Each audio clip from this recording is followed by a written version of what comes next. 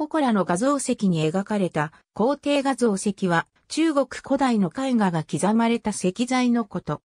画像石とも表記する。墓や建物などに画像を彫り込んだ石材を用いることが流行していた中国の五漢時代以降の地下に石で作った墓の壁面にあらゆる絵を彫ったものであり、前漢末から五漢末にかけ、山東省を中心に盛んに製造された。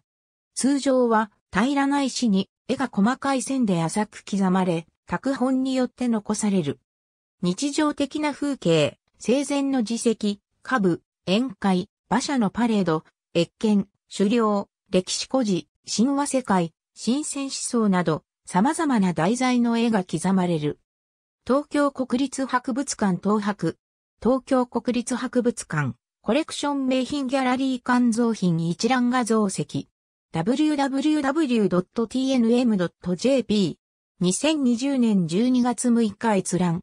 漢画像石。pddlib.v.wol.ne.jp。2020年12月6日閲覧。歴史系総合誌、歴博第119号、バックナンバー、歴史系総合誌、歴博、観光物歴博とは、国立歴史民族博物館。www.rekihaku.ac.jp 2020年12月6日閲覧。ありがとうございます。